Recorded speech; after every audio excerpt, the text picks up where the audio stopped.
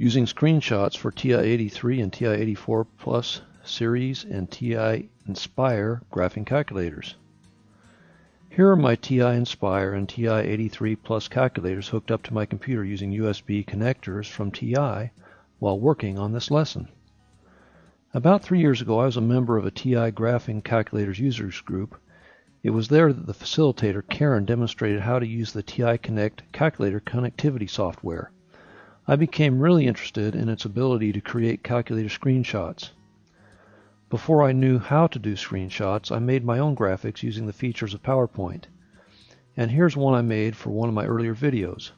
This graphic of a calculator view screen had one great disadvantage. It took me a fair amount of time to work this out.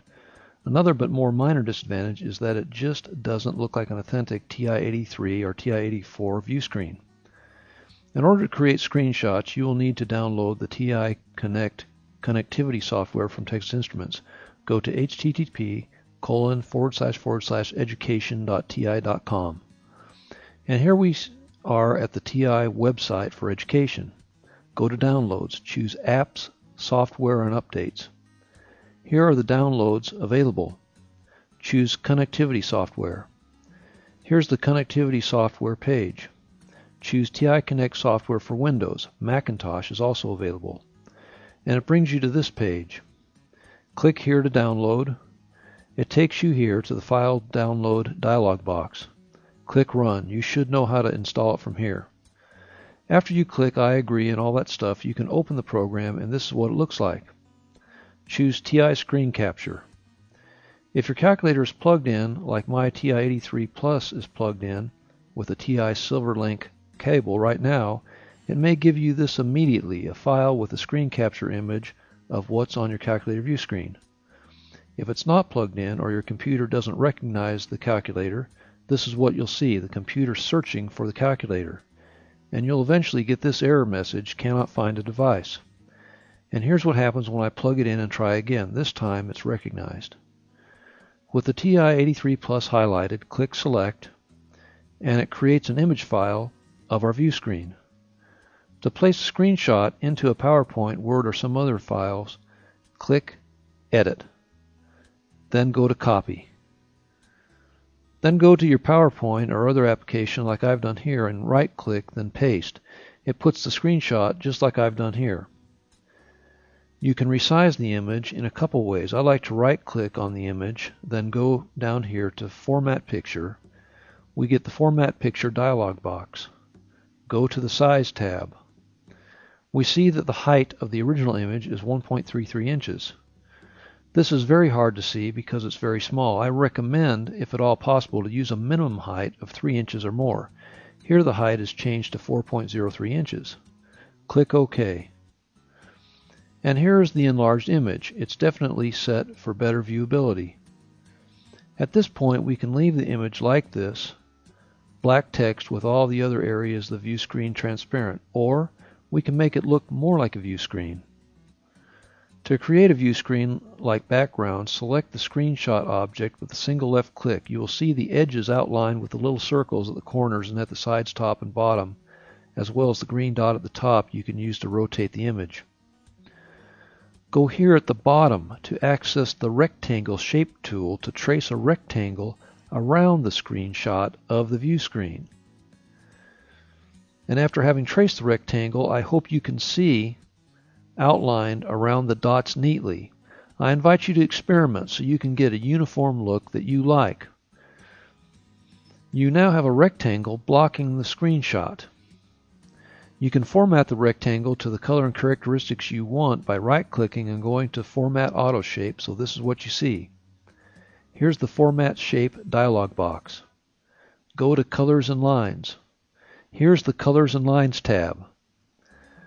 I like to have a line thickness of 3 points, so I change it to 3 point. I like to change the color of the background as well. I like to use the bright turquoise color as my background. I find that it gives my screenshots a unique, distinctive look. This is what it looks like. If you look at my more recent videos, this is the color you see of my view screen backgrounds. If you look at my earlier videos, they are a paler, less shiny blue. Move the rectangle to the back by pressing Draw in the lower left corner. and then go up to Order, then Send to Back.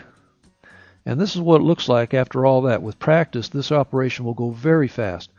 I have found that it helps the presentation to keep the view screens in the same place as you go from one screenshot to the next.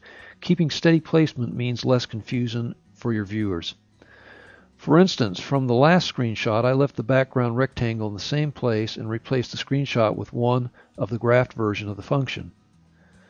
So far in this lesson, I've been using PowerPoint from Office 2003. For Office 2007, PowerPoint handles the screenshots from TI Connect differently. This is a screenshot using Office 2007 PowerPoint. Instead of putting out a transparent screenshot, can you notice that the pure white background is included as part of the image? In some ways, this is easier because you don't have to construct a rectangle and put it behind the transparent screenshot. Right-click on the image to get this context menu, then go here to Format Picture at the bottom. You get the Format Picture dialog box. Go to Recolor. Go to the drop-down menu and Recolor. I'm going to choose this color here, then Close. And this is what it looks like, but it's a single object with the background built in as opposed to PowerPoint 2003 version where it's really composed of the screenshot and the background rectangle. To change the size and position, you can move it around and drag the corners of the object as I've done here. But what I like to do instead is go to right click on the object, but instead of formatting object, go to size and position. You are brought to this size tab. Note or adjust the height here. This is 4 inches high. Write it down because as you go from slide to slide showing screenshots, you'll want the screenshots to have a uniform look. Then, when you have a position you like, go to the Position tab. Note these positions as well as the size so you can duplicate position as well. Otherwise, the screenshots may jump around from one slide to the next, which can be a little unsettling to the viewer. To conclude this lesson, we'll briefly show the use of the TI Nspire connection software. To download the software for this, we go to the TI website for education again. Go to Downloads, choose App Software and Updates. This is the Download Central page. Go to Connectivity Software. Here's the page for the connectivity software under the TI Nspire.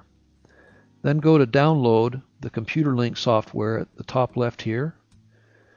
And from this screen, choose the version for Windows or Macintosh. I choose Windows. Here's the File Download dialog box. Press Run. You should be able to complete the installation from here. We'll show the use of the TI Nspire Computer Link software shown here.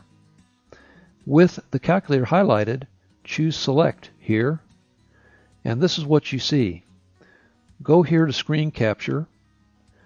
This is the view of the Screen Capture tab. Now press this little camera button to bring up the screen capture. And here it has the screenshot of the TI Nspire home screen. Copy it by going to Edit, then Copy. Then you can go to your PowerPoint slide and paste it by right-clicking and paste. And from here you can right click, then format as you would like. Try to keep size and position constant from one slide to the next if you're staying with the graphing calculator view screen to make things better for your viewers. We've gone over a lot in this lesson. This has been using screenshots for TI-83 and TI-84 series and TI Nspire graphing calculators. Thanks for viewing.